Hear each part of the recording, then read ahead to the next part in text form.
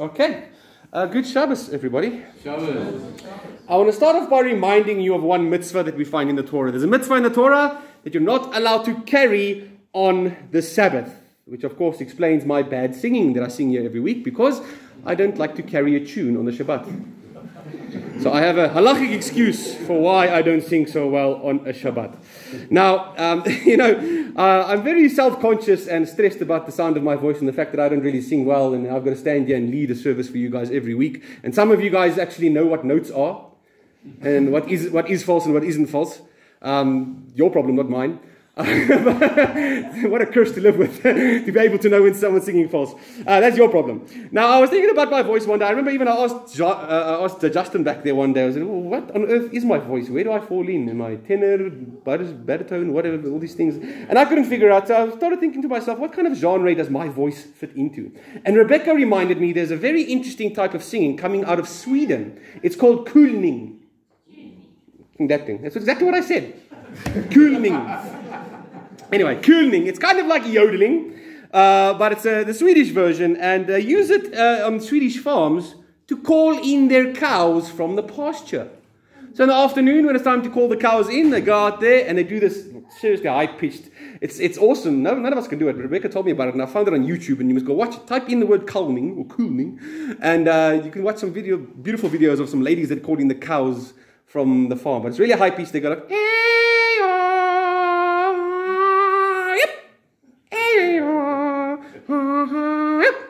Pretty good, eh? If you listen closely, you can hear the cows coming from the farm down the road. Is that, is that, is that a cool? Yeah. when the food's ready. and then when they do that, you just hear the bells of the cows. They all come in, coming home because they recognize this weird and fancy call. So I thought maybe my voice is similar to the cows that come back into the field.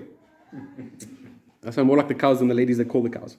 All right, now, uh, so you sing that thing, and eventually the cows come home. Now, in this week's parashah, we actually find one of the songs that we sing till this very day in our service here in the shul. As we open the ark, we start off by saying, "Vayehi ben soyeroin vayomer Moshe kuma," and we sing that song, right? And then we go, we all together go, "Ki te te toira." See, even Morty starts singing now. So that song that we sing over there, that uh, little part that we chant, is a quote from this week's parashah. And we always say it when we open the ark. And the very next verse in this week's parashah, we quote that part every time we close the ark, when we return the Torah to the ark. Then we say, when the ark came to rest, Moses would say, Return, O Lord, to the myriad thousands of Israel. Now the Talmud says, the guys that were responsible for carrying the ark itself, the original ark, the temple ark, Remember last week Stephen was telling us there are those three families from the, the Cohen, uh, three uh, Levite families. Uh, one of them is called the Kohathites. The Kohathites are the ones who were in charge of carrying the ark itself on their shoulders. The Talmud tells us whenever they picked up and started walking with the ark, they would sing. And what would they sing? This specific prayer that we still do till this very day. And some opinions say they sang the entire time as they were walking with the ark on their shoulders. So that's why today we do the same thing in the shul. Every time we open the ark, we remind ourselves of that by singing that exact same tune that they sang when the ark would travel. Now, let me read to you guys a little bit here about uh, the source text that we have for where this comes from. It's from the uh, Talmud tractate Arachin 11a, and it says the following. All right, so where do we derive it from that the Levites had to sing every time the Torah traveled and the ark was carried? So Atana derives it from this verse. It says in, let me show you what the verse is Numbers chapter 7, verse 9. To the sons of Kehat, he did not give any wagons. So remember, we, they were, we donated a bunch of wagons and oxes to the temple, and it was given to these families. There were three families, right? The Meraris and the Gershonis, I think, and the Kehathites. Those other two, they got all the wagons and the oxes. The Kehathites didn't get none. Why? because they had to carry it on their shoulders. Right? The rest of the tabernacle could be carried on these wagons, but the ark itself had to be carried on their shoulders. So it says, to the sons of Kehat, they did not give any wagons, since the sacred service was upon them, they carried it on their shoulder. In Hebrew, would be on the shoulder, they carried it. Now, from the implication of this text, of this verse, it is stated on the shoulder. Why then does the Torah add a superfluous word by saying they carried it? Of course, they're going to carry it if it's on their shoulders. So this rabbi is asking the question why does the Torah add the extra word? The word that says they carried it. We know they carried it, it's on their shoulders. He points out here, so the word Yosu'u is to carry it. It says here, they carried, Yosu'u is interpreted here only as an expression of song that they were singing. And so it says in Psalm 81, verse 3 You shall say, Ooh, carry up a song and the sound of the drum, the sweet harp with the lyre. And it also says in Isaiah 24, verse 14, Yisa'u, you will carry up their voice and they will sing. So, what is the Talmud telling us here? They carried a tune every time they transported the Ark of the Covenant with the Torah inside. Now, what tune did they carry? Of course, we know it is these two verses from this week's parasha. But something special occurs with the two verses in this week's parasha. I just showed it to you guys all in the scroll. As we lifted up the scroll, those two verses are bracketed by these strange little backwards or upside down letter nuns. They stand out and it like really sets apart those two verses from the rest of the Torah. And it's a really weird thing to think about it that in the Torah, we've got the perfect Torah where every letter is in the right place, right? We've got this section that's bracketed and set apart from the rest of the Torah. You can see it, even if you guys have got a Chumash at home, you can see it in your Chumash. It's even printed like that in the Chumash. So, what is up with these two random brackets, these two random nuns, these inverted nuns that are in the Torah? So, there's a few opinions from our sages. Let me take you through at least two of them. Let me start first with one from Rabbi Yehuda Hanasi, Tractate Shabbos 115b. Okay, it says here, the rabbis taught in a tradition when the ark would journey and Moses would say, uh, this section, the Holy One, blessed is He, made signs above it and signs below it. He placed markings immediately preceding it and following the section to enclose it and separate it from the rest of the Torah. To teach us that this is not the proper place for those two verses. Rebbe says, it is, not, uh, it is not for this reason that the signs appear, though. His opinion is, rather, the signs appear because this section ranks as an entire book of the Torah unto itself. The Gemara comments, saying, with whom does the following statement made by Rabbi Shemuel Bar Nachmani in the name of Rabbi Yonasan agree? Scripture states, this is a quote from Proverbs chapter 9, verse 1. It says, Wisdom has built her house. Now, wisdom in the book of Proverbs always refers to the Torah. So the Torah has built her house. She has hewn it. She has hewn out of her seven pillars. Which means the Torah stands upon seven pillars. It says here, these represent the seven books of the Torah. How many books are there in the Torah? Five. If this section is a book unto itself, it splits the book of Numbers into two which actually makes it seven books of Torah. This rabbi, who is by the way Rabbi Yehuda Hanasi, is the one who is the compiler of the Mishnah, very important rabbi. He says we have seven books of Torah. So if you go to his Pesach Seder and he says, who knows five? You got to watch your mouth. you got to think of something else because he says seven are the books of the Torah. Um, in accordance with whom this was the statement made? In accordance with Rebbe, Rebbe Yehuda Hanasi. So that's what he says. It's an entire book unto itself which makes it a really, really short book.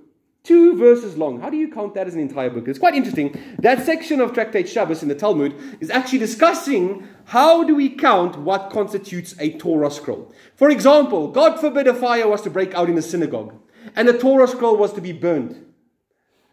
How do you know if there's any remnants of the Torah scroll left? At what point do we call it still a Torah scroll? How many letters must still be left for it to be considered a Torah scroll?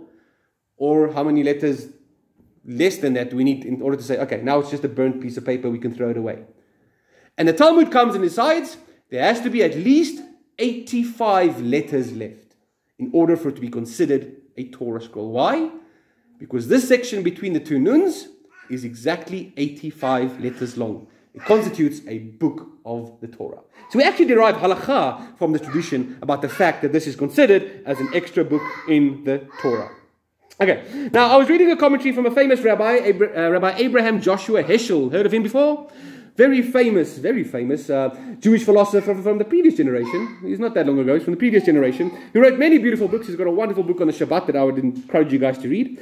Where he comes and comments on this week's parashah by quoting the Midrash Mishlei, Midrash and Proverbs, that discusses these noons that we find in this week's parashah. This is what the Midrash says. It says, the entire Torah is dedicated to the prophecy of Moshe Rabbeinu. Everything in the Torah is dedicated to the words of Moshe, except for these two verses. These two verses, according to the Midrash, come from the prophecy of Eldad and Medad. Do you guys know who they are? Yeah. So they appear in this parasha as well, Eldad and Medad. Uh, let me read to you here from Numbers chapter 11, verse 24 to 29 to tell you what happened with these guys. 24 to 29. Yeah, new prophets, here we go. Moshe left and spoke the words of Hashem to the people of Israel, and he gathered 70 men from among the elders of the people and had them stand around the tent. So he was told to gather a few men from each tribe. The problem is, how many tribes are we? 12. So eventually we're supposed to get 72 men. So he gathered these 70, and uh, it says here, Hashem descended in a cloud and spoke to Moshe. And he increased some of the spirit that was upon Moshe, and he took that spirit and gave it to the 70 men, the elders of Israel. When the spirit rested on them, they prophesied, but did not do so again. Sounds very much like Shavuot, eh? Two men remained behind in the camp. The name of the one was Eldad, and the name of the second one was Medad. And the Spirit rested upon them. They had been among the recorded ones, but they had not gone out to the tent. And they prophesied outside in the camp. The youth ran and told Moshe, and this is old Joshua. Joshua ran and told Moshe. Uh, uh, someone, someone told Joshua, and Joshua told Moshe, and said, Eldad and Medad are prophesying in the camp. So Joshua, son of Nun, the servant of Moshe, the son of Nun, what an interesting name since we're studying the upside down Nuns. No? Um, he, he, the servant of Moshe, since his youth, spoke up and said to Moshe, My Lord Moshe, incarcerate them, arrest them, for they're prophesying outside there. And Moshe said to him, Are you being zealous for my sake? You want me to be more important than anyone else? Would that I would wish that the entire people of Hashem could all be prophets. If Hashem would just place his spirit upon all of them. So these two dudes, Eldad and Medad, these two dads, they were outside of the tent of meeting and they were prophesying out there. And this is one of the things that they prophesied according to the Midrash. They said these two verses. And where did they get these two verses from? Directly from the Holy Spirit, from the Spirit of Hashem. This was the world's first spirit led song. Have you ever heard someone claim that their song is spirit led? The Holy Spirit gave me this song. What would a spirit led song sound like? You know, growing up, for me, it was a soaking session. Oh, you know, play this music, put the smoke machines on, and make you drift off into a trance. That was what I was taught as a child is a spirit led song. But listen to this. What does a spirit led song actually sound like? And what do we learn about it? You'll notice when did we sing this song? Every time the ark traveled with the Torah inside it. Every time we walked and had to take the word of Hashem with us, then we would sing this spirit led song. Because what is the job of the Holy Spirit? We spoke about this on Shavuot once again. The Holy Spirit says, Ezekiel and Jeremiah say, I will put my spirit inside you, and it will cause you to walk, as we travel with the ark, in my ways, in my laws, and in my precepts, in the Torah. Now the Midrash continues. By the way, so that is what a spirit led song is supposed to be like. It's supposed to lead us to walk in the ways of Hashem of the Torah. The Midrash continues by saying, There is more to this separate book that Eldad and Medad had written. It's not just these two verses that constitute the separate book of the Torah, but there's more that has been lost over the days. It says that it was suppressed. Now, this Rabbi Heschel, he posits that we actually find a fragment of that song. There's a longer version of the song. We find a fragment of it quoted in the Talmud and in the Midrash Rabbah as a song that's recited when the ark traveled. Listen to this. I'm going to read to you guys from Tractate Avodah Zarah, page 24b. Now, it's discussing the story of when the Philistines caught our ark. Remember, they had the ark for a while, and then all of a sudden, horrible things were happening to them, and they said, Oh, we better get rid of this ark and send it back to the Jews. Their god, Dagon, I think was his name, that fish god thing, fell over and smashed into pieces. And someone asked us, Where are our gods? And they said, They're gone. So the gods were gone. And they decided to put the ark on this wagon and with these cows. And then the cows went by themselves all the way to Beit Shemesh. There was no one showing them where to go. They put the ark on this wagon, and there the cows went, sending the ark back. So, some some? Oh. All right, let me read to you uh, the discussion of this. So they quote that verse from the book of Samuel. Uh, it says, The cows set out on the direct path, using the Hebrew word vayisharna, on the direct path on the road to Beit Shemesh. What is meant by this Hebrew word vayisharna? Because it's actually it's confusing when it talks about the cows being female and using a male term here. So there are two interpretations that are cited.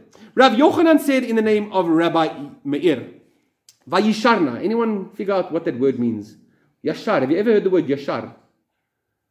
We literally said it a minute ago to Nati after he read. We said Yashar Koach. So Yeshar means may you be straightened. And Koach means strength. So may your strength be straightened is what we say. So we say, but we shorten it and we say Shekoyach. Is a much shorter version. Right? So Yeshar means to be straightened. But this rabbi was confused because it's a different and it's a funny version of the word that's used here. Rav Yochanan said in the name of Rabbi Meir, it means that the cows recited a song unto God. The cows were singing, guys. Why? What's the word for a song in Hebrew? Shir. So he's saying it's not Yashar as in straighten, it's Shir. They were singing a song unto Hashem. But Rav Zutra Bar Tuvia said in the name of Rav, it means that the cows turned their faces towards, directly towards the ark, Yashar, and then recited a song unto Hashem. And the cows started singing. And what song did they recite? Anybody heard a cow sing before? My opinion is Romemu. Romemu. That'd be a perfect one. All right, so there's a bunch of rabbis with their opinions as to what song these cows recited. Rav Yochanan said in the name of Rabbi Meir that they sang the song of Az Yashir, the song of Moses when we crossed the sea. That's Rav uh, Meir's opinion. Rav Yochanan said in his own opinion, the cows sang the song, Give thanks to Hashem and declare his name. That is from Isaiah chapter 12, verse 4. Rav Shimon ben Lakish said, the cows sang the orphan psalm. Have you ever heard of the psalm called the orphan psalm?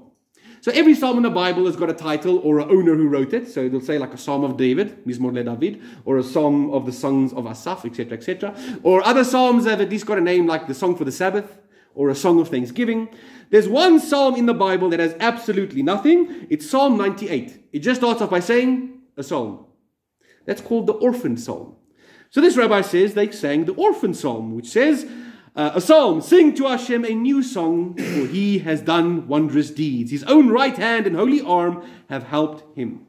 So that's that rabbi's opinion. Rabbi Eliezer said, The cows sang the psalm that begins with, Hashem has reigned, let your peoples tremble. Hashem melech. That is from Psalm 99, verse 1.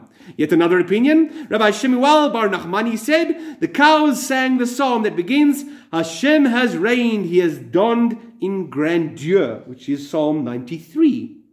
And then comes along the final opinion. According to the final opinion, the cows did not sing a passage from Scripture, so it wasn't one of the Psalms, but they sang a special song in honor of the ark. What did they sing? Rav Yitzchak Nafka said, they sang the following song. Sing, sing, O acacia wood, exalted in your profound beauty. You are girded with golden trappings, who are glorified through the book of the palace, and are adorned with a crown of crowns. So that's a song written specifically about the ark. It calls it O acacia wood because, of course, acacia wood was used to build the ark, girded in golden trappings. Why? Because the ark of the covenant was had two boxes of gold, right? The inside was overlaid with gold as well as the outside with gold. It says, You are glorified through the book of the palace or the book of the sanctuary. It talks about the Torah and the Ten Commandments that were kept inside of the ark itself and are adorned with a crown of crowns. What do we learn from Pirkei Avot? What is the greatest crown that all of us can achieve? Not all of us can achieve the crown of priesthood because you have to be an actual descendant of Aaron. Not all of us can crown the crown of kingship because you have to be an actual descendant of David. But there's one crown that all of us can, can acquire the crown of Torah, which was held in the ark.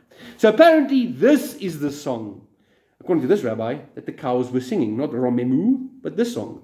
Where did they get this song from?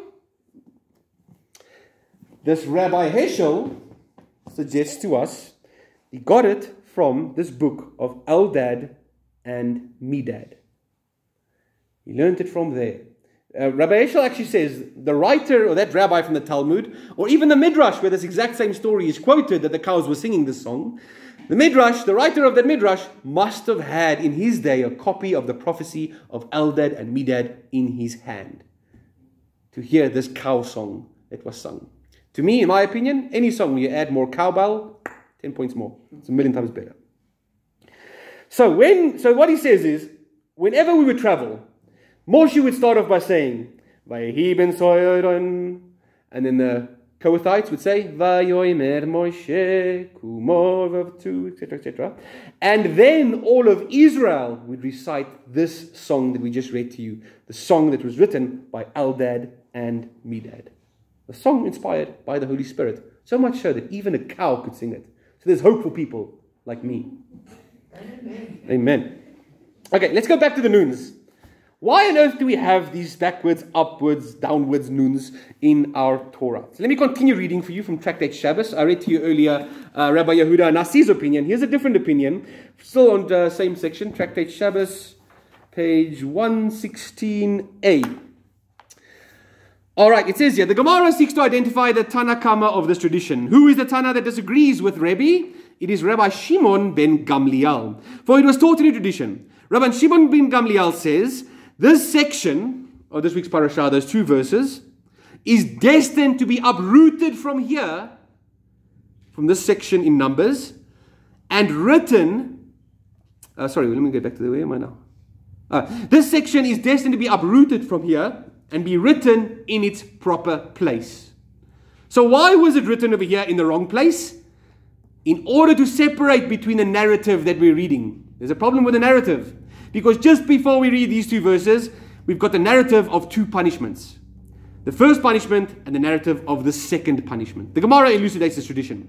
What is the narrative of the second punishment? The Torah tells us the people took to complaining. So the reason why we have this section in the two noons over here is to separate between two of our sins, actually three of our sins according to some traditions. So it doesn't sound so bad. So we don't sound like such a sinful people. The first section, or actually the, law, the afterwards section, is where we were complaining. What were we complaining about? One rabbi says we were complaining about the manna, and that's when God sent us the quail till it came out of our noses. Another rabbi points out, no, it wasn't that. It was the Levites that were complaining about who they're allowed to marry. Not just specifically who they're allowed to marry, but specifically the fact that they weren't allowed to marry their own family members, their cousins. Now, I've heard of a nun, you know, the Catholic nuns, complaining about not getting married, but I've never heard of a Catholic nun complaining about not being able to marry her cousin. That's a backward nun. now, that's what they say here. So that's the one thing that we complained about. So it's, it's hard to read that about the Jews. We don't want to read that about ourselves. So what do we do? Hashem told us, take this section and put it there to separate between that. And what is the first complaint that we did? The narrative of the first punishment is where it says, We traveled from the mountain of Hashem, a travel, a, a, journey of three days. Now, regarding this verse, what's wrong with traveling? God told us to travel, right? Rav Chama, the son of Rav Chanina, commented, saying, Within three days of their setting out from Mount Sinai, they turned away from Hashem. We moaned again. But the thing is, the, the problem here, it's in the commentaries here, that, that they find with this, is the way that we left Mount Sinai. Uh, Rashi tells us um, that we left Mount Sinai like a kid running out of school on the last day of school. That's how we left Mount Sinai, which is not the proper way. Mount Sinai is where we received the Torah. We should have left, left it slowly. You know, it's the same when you travel to shul as well. In the mornings, when you travel to shul, you're supposed to walk fast. So if you've been to Israel and Jerusalem, you'll see how fast those guys walk. Their payats are like, like, you know, waving in the wind the way the speed that they're walking to shul. But on the way back from shul, they're very careful to walk slower. It's the same with Mount Sinai. We should have done the same. But instead, we ran out of there like a child running out of school. I remember a few years back when I was in Sweden, we went there to, um, to celebrate um, Becca's little brother Jojo when he graduated from uh, matric. In, in Sweden, they make a big deal of it. All the parents and grandparents gather outside the school's main doors and they have a big ceremony. They put up these massive speakers, and then one of the teachers slams open the doors, and all the kids that have graduated run out full speed and celebrating, throwing things in the air. And they got the speakers blaring out that song, School's out for the summer, school's out forever. And the kids ran out there, and woo, it's a big thing, you've got to throw them with roses. And they've celebrated that now done with this horrible school. That's how we left Mount Sinai. So we have a problem here. The Torah tells us about these two horrible things we did in a row. So the Midrash says that's why this section is taken out of place and put in here to separate between those two sinful things, to make us not look so bad every time we read this parasha. Rav Chama, the son of Rav Chanina, commented saying, within the, uh, they turned away from a God. Uh, and where is this section's actual proper place? So where was this two verses taken from? If it's in the wrong place, Rav Ashi said, with the topic of the banners in Numbers chapter 2. Remember in the beginning of Numbers chapter 2, Parashat Bamidbar, we're reading about all the different encampments of Israel and the flags that each of them had to have and how we were supposed to travel. It was meant to be in that specific place telling us how we are supposed to travel because it talks about when the ox set up, Moses would say, advance. So that's where it's supposed to be in Numbers chapter 2. Now, it's pretty cool. There's a commentary at the bottom of the Talmud from a rabbi by the name of Rabbeinu Bachya. He asks the question, why specifically did Hashem choose us, make us choose the letter Nun to separate this section, to show us it doesn't belong here? Because who knows what the number of the letter Nun represents? In Hebrew, we don't use numbers, we use letters that represent numbers. Aleph is 1, Beit is 2, Nun is 50. And Rabbi Rabbeinu Bachya tells us, if you go to this week's parashah, where we have this extra section, and you count back exactly 50 paragraphs in the Torah, you get to the exact spot where the section is meant to be in Numbers chapter 2. He says that's why we use a nun, because it tells us 50 chapters back is where it belongs. And when, I, when he says chapters, he means um, paragraphs in the Torah scroll. 50, exactly 50 paragraphs back is where the section actually belongs. Okay, now that's not where the only place we find nuns. We find nuns somewhere else in the Bible. And I'm going to suggest to you this is what I think, this is the psalm I think that this, the cows actually sang. Char told me about this a few weeks ago. He came here one day and said, Sidney, did you know in Psalm chapter 107 there are seven upside down backwards noons? And I said, No, I did not know that.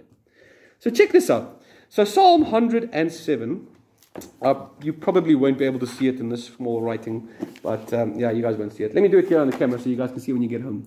There are seven reversed noons written in Psalm 107. And it was already written in there, in the Talmud talks about this.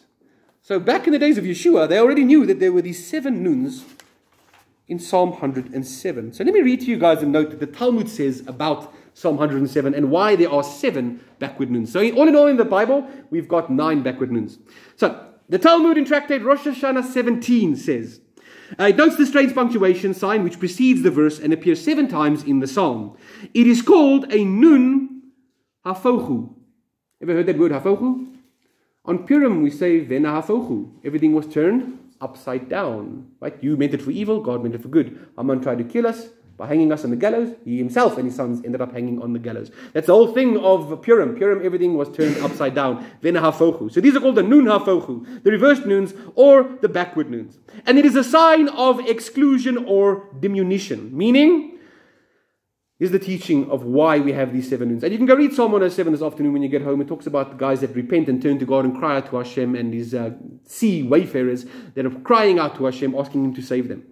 It means that not all who cry out when they are in peril will be answered by Hashem. Some will be excluded.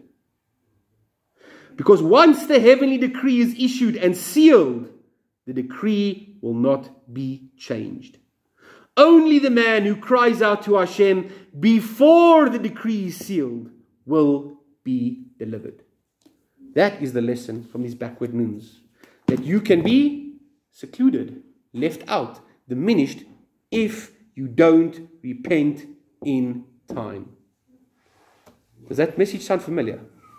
That, my friends, is the entire gospel summed up by Yeshua. That is Yeshua's teaching, which is repent, for the kingdom of heaven is at hand. And both Rabbeinu Bachya and Rashi comment on this very section of the Talmud that's talking about the noons in this week's parasha. They say, this section from the parasha, which is in its wrong place, will be returned one day to its correct place when the Mashiach comes. Why? Because when the Mashiach comes, they say, then the evil inclination will become obsolete in the presence of the divine. Meaning that those two punishments we read in this week's parasha that we want to split, those sinful acts of the Israelites will no longer tarnish Israel. Why? Because when the Mashiach comes, our sins will be washed away. There's a prerequisite for your sins to be washed away. What is that? Teshuvah. To turn and to repent. Repent, for the kingdom of heaven is at hand. Similarly, a commentator or a commentary known as the Sifsei Chachamim, which is a commentary on Rashi, very famous one, it states the following. Listen to this. It says, The noons are inverted backwards specifically to teach us that we need to turn backwards as well. Turn back through Teshuvah. This is what he says. To turn ourselves around through tears and heartfelt prayer that will overturn any danger that is facing us before it is too late. So, what we have here, the purpose of this misplaced section in our Torah between these two sins is to teach us that when we walk on the wrong path, it happens to us. Sometimes we get led down the wrong path into a sinful way. You have to remember this tune of the Vayehi ben and Vayomer Moshe. Remember this tune. Get up and walk. Because what is this tune about? It's the traveling of the ark with the Torah inside. It's to remind us that we have to get up, turn around, and walk the other way. Those noons are pointing towards where they belong. And just like this section from this parasha is in the wrong section and needs to return to Numbers chapter 2, so too we need to return to where we belong. We need to hear this tune in the back of our heads. And how do we do that? How do we get there? Rashi and Rabbeinu Bachya, the Talmud, are telling us, with the help of Mashiach and the help of the Holy Spirit. We're supposed to be hearing the song if next time you guys are in a dark alley where you're not supposed to be. In the back of your mind, Hashem, the Holy Spirit, might send you this tune. by And what does Yeshua say? My sheep hear my voice. So, once again, ladies and gentlemen, we find the main message of Yeshua, the main teaching of the Gospels, hidden for us in the Torah. This time, hidden in the very structure of the Torah itself. And what is that message? Repent, repent, repent until the cows come home. Shabbat Shalom.